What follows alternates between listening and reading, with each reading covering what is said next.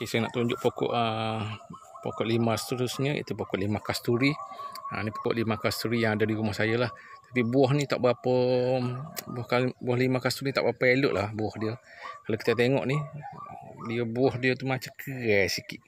Ha, kalau pegai tu dia kerah. Ha, kalau kerah biasanya dia kurang ada air lah dalam tu. Ha, kurang ada air. Jadi kalau nak buat air lima ni tak berapa tak berapa molek tak berapa comel lah. Tapi ada juga ada juga comel-comelnya ha, macam ni ha. kalau yang ni ha, molek sikit. Ha, kita nampak betul dia tu comel eh. kulit dia tu kulit dia tak licin. Ha, kalau tak ada kita tengok ha, kulit dia ni macam berkutu sikit. Ha, panggil kerah kalau pegang pun dia kerah. Kalau ni kita ha, kalau bawah ni kalau kita pegang kita rasa air dia ni. Kita rasa ha, macam ada air dalam tu. Ha, banyak ni. Lima kasturi ni banyak buah dia. Buah sepanjang masa. Eh, buah sepanjang masa. Mana ada musim pokok ni. eh. Ada seumur buah dia. Tak habis nak makan lah kalau kira nak makan tak habis ni. Eh.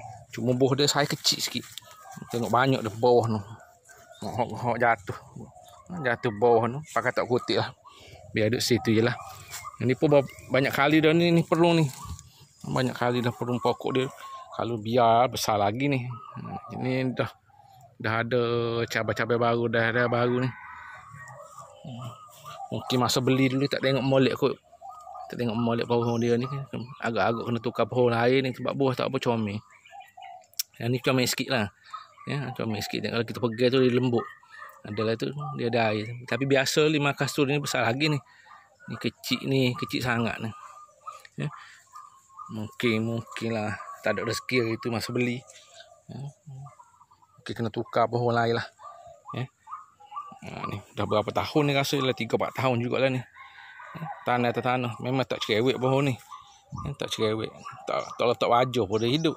Janji kena cahaya matahari penuh lah. Ha, dia tak kena cahaya matahari penuh dia akan buah lebat lah. Memang sangat lebat. Ha, sangat lebat buah dia. Tengok berterabur jatuh bawah tu. Okey.